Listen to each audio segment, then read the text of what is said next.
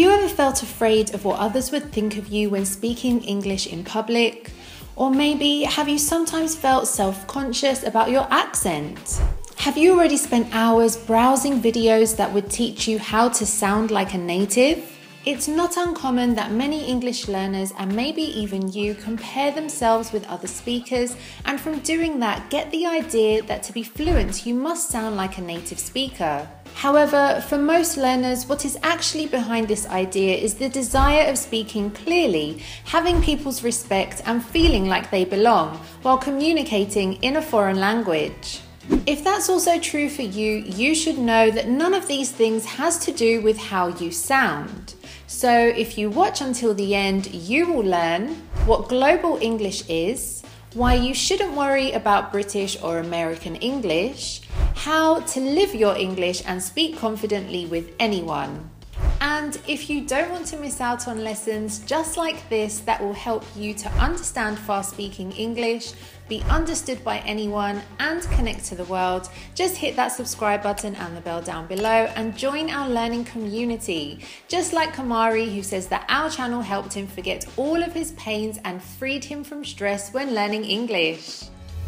Before we go over what Global English is and how it helps you gain the confidence you need to interact with people in English, let's play a quick game so that you can find out how much you know about it.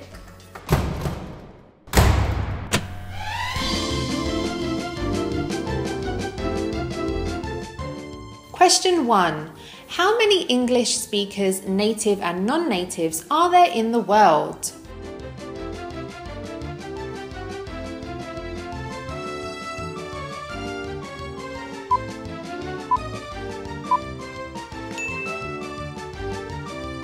If you answered A, you are correct. Question 2. How many people worldwide speak English as their first language?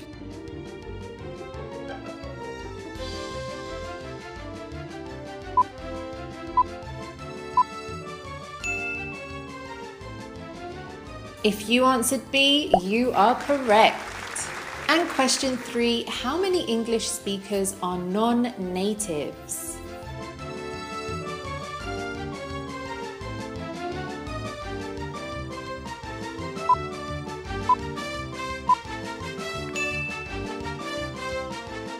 The correct answer here is C. As you can see, even though nearly 20% of the world's population speak English, most of the language is spoken by non-native speakers.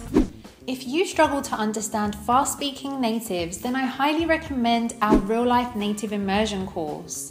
This 41 week course will take you on a real life adventure of the English language in a way that is fun, natural, and convenient. And the best part is, you can try it right now for free with our three part power learning series. All you have to do is click up here or down in the description box below to learn more and sign up now.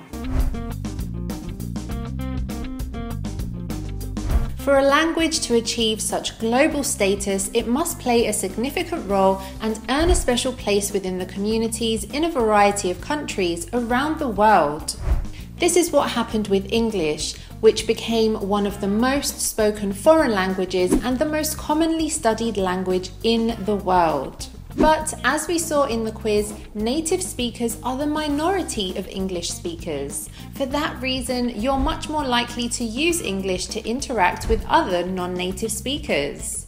There's even a specific name for this. It's called English as lingua franca, which is the contact language between a group of people who do not share a common native tongue nor a common culture.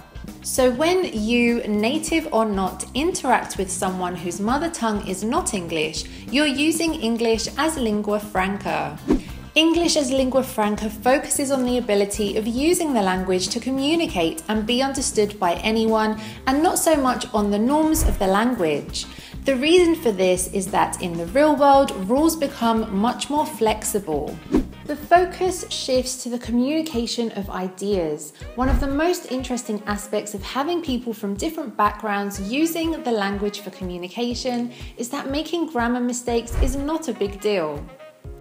This global use means that the English language is alive and context bound, that nobody owns it anymore. When speaking global English, there isn't just one or two models to follow like British or American English. The reason for this is because even among native speakers, there isn't only one model of English. An American, British, Australian, Canadian, and others speak different varieties of the same language. This means that vocabulary, pronunciation, and expressions change from one place to another. Sometimes what one native says is incomprehensible even to another native, and it can create really fun situations. If you're interested in learning the contrast between American, British, and Australian English, check out this lesson we've made about it. You can click up here or down in the description box below to watch it next. This is why you shouldn't worry about British or American English. It's true that for a very long time, British and American were the main spoken models of English pronunciation.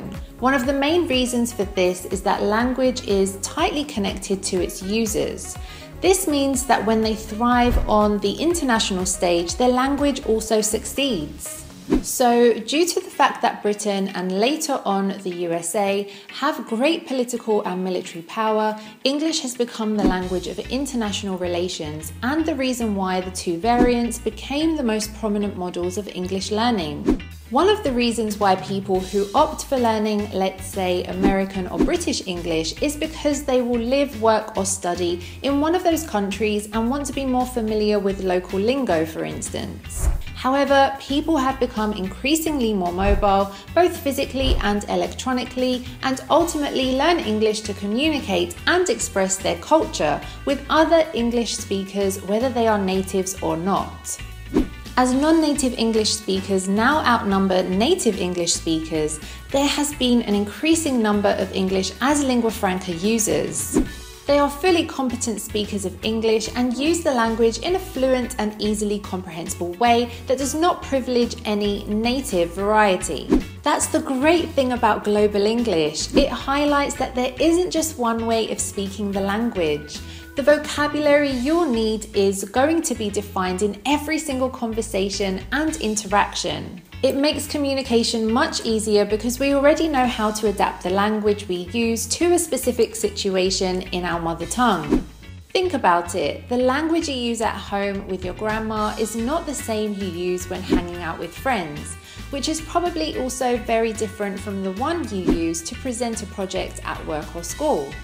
Becoming aware of that is a key factor to start living your English and speak confidently with anyone. Having a global approach to the language doesn't mean that you don't need to learn the structure of the language, its rules, and achieve a certain level of proficiency. Having a strong foundation of the language will help you become a better communicator.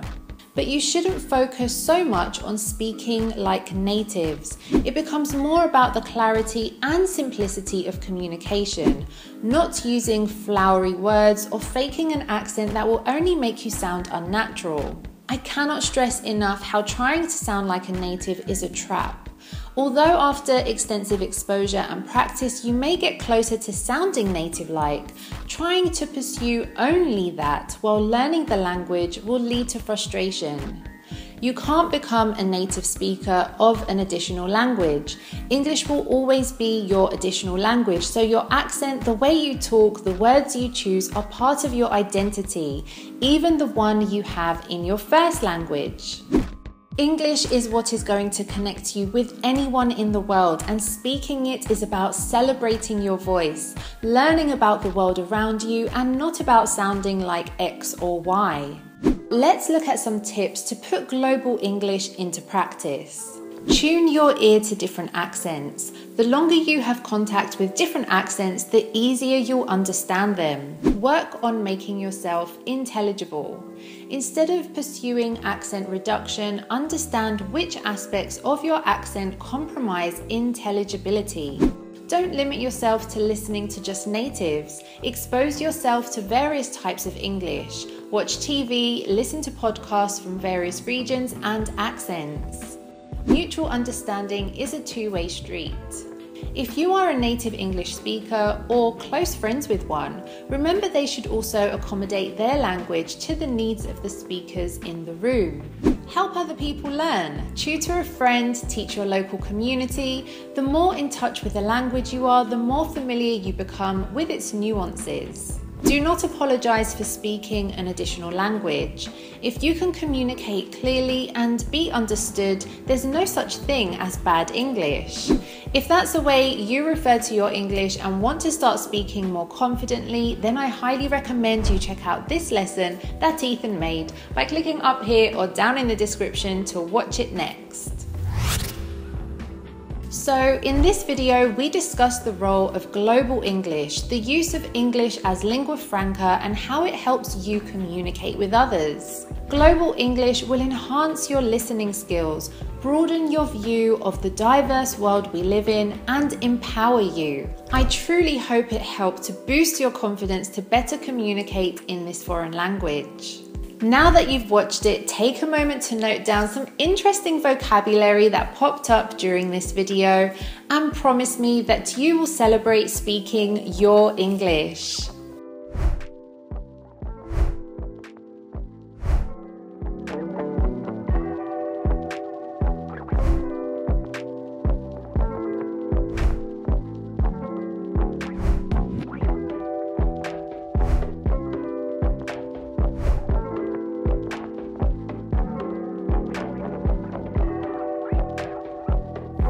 But are they on what? sticks and things? No, they're not on sticks. I guess like uh, uh, lolly is even more general than sweets. What would you call the place where you buy this? Would it be a lolly shop? Oh. I don't even know if we have these types of stores. We, I, I don't That's think a good question.